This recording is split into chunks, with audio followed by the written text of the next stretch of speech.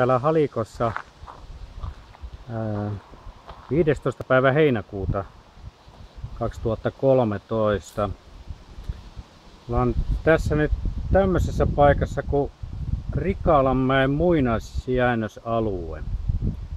Joo, tää on tosi vanha asuinpaikka ja asutusta ollut tässä niin kuin Rikalanmäen päälle ja ympäristössä ja tuossa on sitten myöhemmältä ajalta niin Viurilan kartanon hevostallit, jotka on tällä hetkellä museo ja, ja ehkä tässä niin kuin tuleva, tulevassa niin kuin museoja, mutta siellä on savipajaa ja mitä siellä onkaan sitten käsityöverstasta ja sitten tuossa tallin yläkerrassa on sitten kesäteatteri.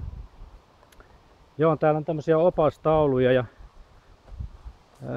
todellakin tuossa on niin tämän mäen päällä, niin tuossa näkyy vielä tuommoiset kivipylväät, että aikoinaan on sitten joskus 50-luvulla niin rajattu se kalmistoalue, että vanhemmat niistä kalmistoista on jostain rautakaudelta, ehkä myöhäisrautakaudelta. Ja sitten oli jossain tässä ihan Rikalanmäen rinteellä ollut joku tämmönen poltto kalamistopaikka ja Joo, tosi täällä on tämmöisiä opastauluja sitten kertoo tästä Rikalanmäen historiasta. Joo, lähdenpäs tässä nyt menemään tätä polkua alaspäin ja tässä on matkan varrella sitten näitä tauluja ja kertomassa sitten tämän historiasta. Tää on tosi kaunilla paikalla ja pellot ympäröi tätä Rikalanmäkeä ja tuonne nyt auringon suuntaan, niin siellä on sitten Linnanmäki tai Linnamäki ja ilmeisesti siellä on ollut tämmönen muinaislinna, linnavuori. Ja tässä on sitten niin asumisesta niin, ja elämisestä niin kuin rautakaudella. Joo, että nämä peltomaisemat tässä ympärillä, niin ne on aikoinaan ollut merta ja sitten joskus rautakauden alkupuolella niin on pikkuhiljaa sitten maan nouseman takia ää, sitten kuivunut ja, ja on nyt sitten ihan viljavainioina. Ja tässä on taas taulu Halikon jokilaakson keskus ja tarinoiden kaupunki, että jossain ää, perimätiedossa ja, ja, ja, ja tarinoissa niin tämä olisi ollut niin tämmöinen rikas Rikalan muinaiskaupunki. Ja kauppapaikasta ovat jääneet elämään myös monissa kansan tarinoissa. Joo, lähempäs tässä nousemaan polkua ylöspäin. Ja tämä polku on nyt merkattu sitten tämmöisellä niin kuin Hannun vaakuna öö, lokolla noissa tappiloissa ja seurataan nyt niitä merkkejä. Joo, täällä käy sitten porukoita niittämässä tätä aluetta, että ilmeisesti että saadaan tämmöistä niinku ketoa, kasvillisuutta ja kukkia sitten kasvamaan täällä. Ihan semmoista luonnonmukaista heinikkoa tänne täällä näkyy kasvaa katajia ja tässä on ollut joskus aikoinaan, silloin kun tämä Viurilan kartano on rakennettu ja syntynyt tämä kartanoalue, niin tässä Rikalanmäellä on ollut sitten työläisasuntoja ja, ja mitä liekkiä ollut sitten torppia. Ja, mutta niitä nyt ei enää tänä päivänä ole, että ne on sitten hävinnyt ja tuolla näkyisi nyt nämä Viurilan kartanon niin hevostallit ja se itse Viurilan kartano on sitten tuohon suuntaan.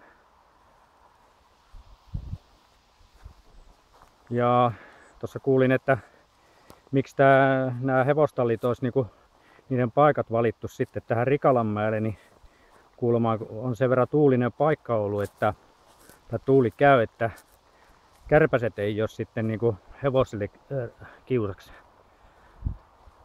Oho, vanhoja petäjiä. Vaikka minkä lajista puuta. Joo, eli ilmeisesti näillä paikoilla sitten alkaisi olla ne kalmistot. Jaa, tuonne menee vielä kauemmaksi polku ja nyt vähän eksyin polulta. Ilmeisesti täällä on niinku laajemmallakin alueella sitten näitä kalmistoja, polttohautapaikkoja.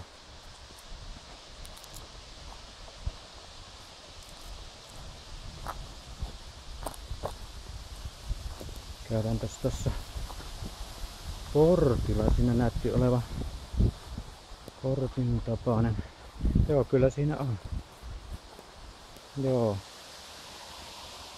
Tämä kaikki on semmoista muinaislöytöpaikkaa, että täältä on löydetty öö, keihään kärkiä ja mm, miekan kappaleita ja sitten on solkia ja erilaisia riipuksia ja tuossa olisi niinku naisen puku raatakauden lopulta perustuen haudan 11 löytyy. Joo. Tuo näkyy oleva kivessä jotain laattaa, että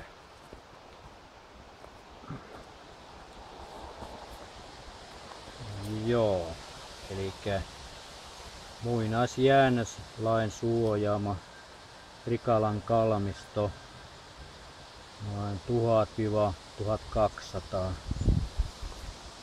No, eli tämäkin on sitten ympäröity jollain, no kivitolpat on pysty, en tiedä sitten onko ne riimut vai mitä siinä on ollut sitten, niin niiden välissä. Sitten on tosi vanha taulu.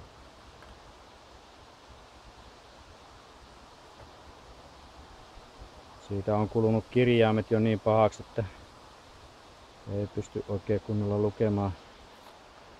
Joo, tämä on se portti. Mhm, se lukee tämmöistä. Niin, että se ilmeisesti nyt niin kun tänne puolelle on nyt tämä kalamisto ja nämä löytöpaikat.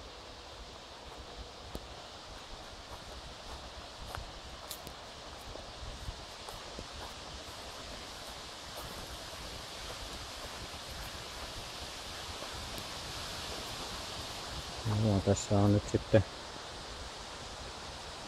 Likalanmäen ruumiskalamisto.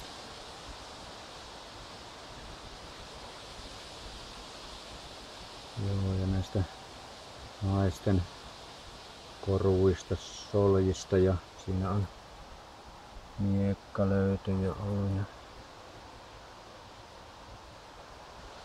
Joo, tämmöisissä maisemissa. Ihan mielenkiintoista käydä täällä. On vielä niin mahtava ilmakin ollut tässä päivällä ja täältä on niin hyvät maisemat sitten niin kuin ympäristöä ja, tämmöistä.